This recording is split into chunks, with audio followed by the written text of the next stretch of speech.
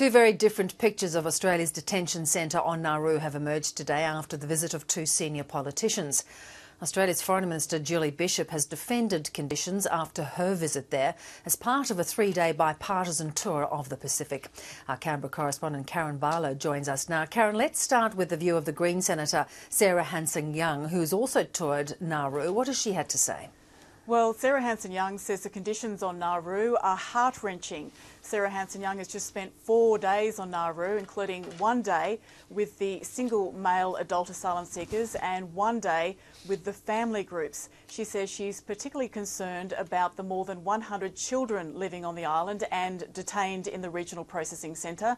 She says that this place is no place for children. She says they have no toys and very little to do.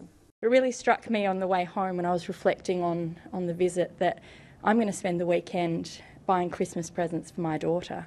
Um, these kids have nothing, absolutely nothing.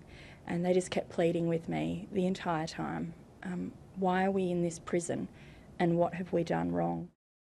A very emotional report back, uh, Karen. Uh, Julie Bishop, though, the Foreign Affairs Minister, the re recently appointed a Foreign Affairs Minister on her first trip to the Pacific, painted a very different picture. Yeah, Julie Bishop has been on a three day, three nation tour of the Pacific with the Deputy Opposition Leader, Tanya Plibersek.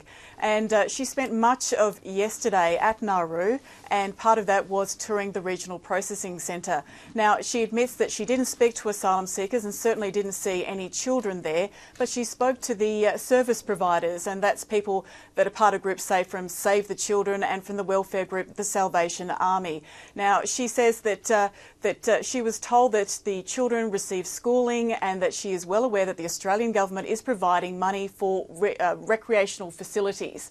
Now, uh, she also spoke about the, uh, the, the wider asylum seeker population. That's more than 700 people being detained there. And she says by Nauruan standards, they're living in very good conditions. Well, they were certainly better than mining camps in Australia and the standard of uh, medical care and services I thought was very high. We met with a number of the doctors and talked to them in detail about the services that they're providing. Uh, they themselves describe the services as comparable to those that would be received in a significant regional centre in Australia. Karen, what about the rest of the trip, uh, given also that uh, there are serious cutbacks in aid on the drawing board for the new government? Yeah, this uh, this trip to the Pacific, it's been a bipartisan one, as I mentioned, and it also has been a first outing for the new Ambassador for Women and Girls, Natasha Stott Despoja. So there's been a big focus on women and girls.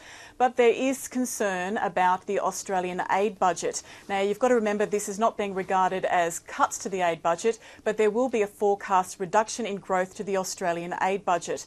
Pacific Island nations and uh, aid groups have been concerned. Now, uh, we have heard from the, uh, the Foreign Minister in this regard today, not generally about where the cuts are, but she says that the foreign aid budget will be more efficient and more effective in the future. So we'll find out more details in the May budget. But announced today, uh, Vanuatu is to get an extra $48 million over three years, and that's to support its economy, and that will go towards things like improving and maintaining rural roads and supporting women in jobs, uh, very big growth jobs for Vanuatu, like uh, jobs in tourism.